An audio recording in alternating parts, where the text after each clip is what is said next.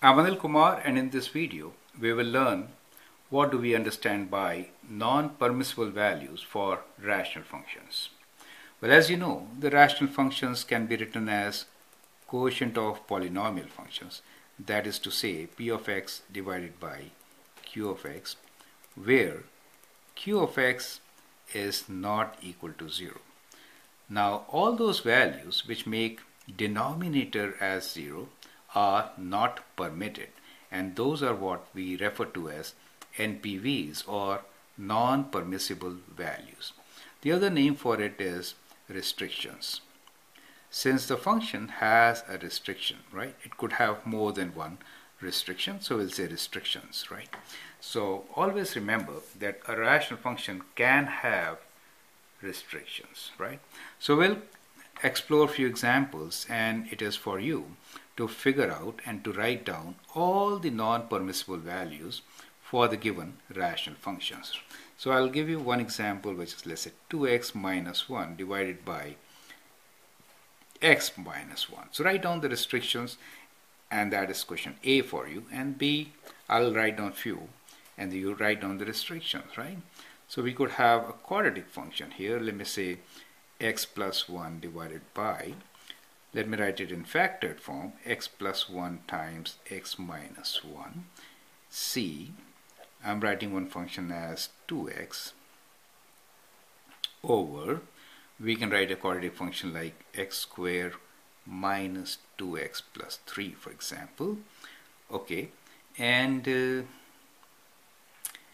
okay so let me make this minus 3 for the time being. That will help us actually to get the right answer easily. Now part D I'll give you equation as 1 over x square plus 4 and then E let the equation be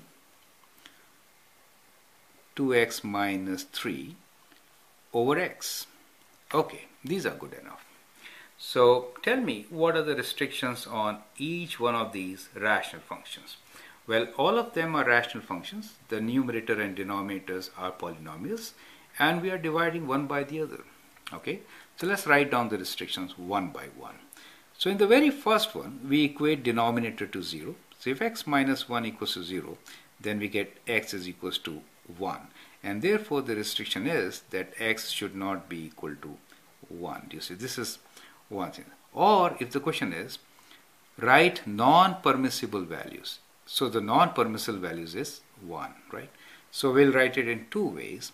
First way, we'll write as a restriction and we can also say non-permitted value is 1 or x equals to 1.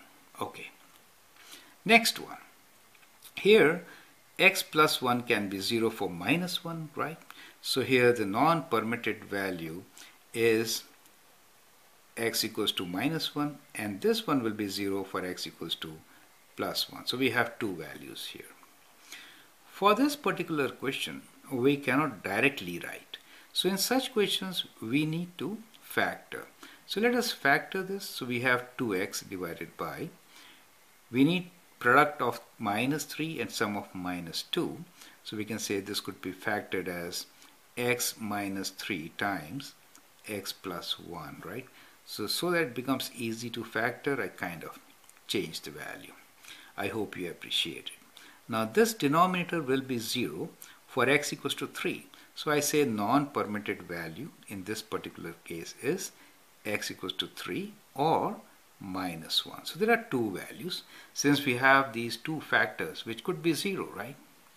Now here we have 1 over x squared plus 4. Let us equate x squared plus 4 to 0. What do we get? We get x squared equals to negative 4.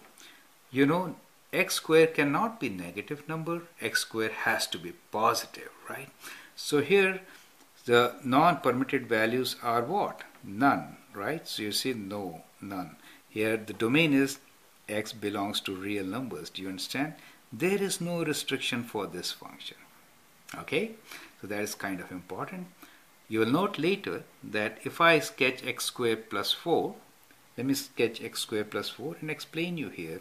x squared plus 4 will be a graph kind of like this. This graph does not have x-intercepts. It is never zero.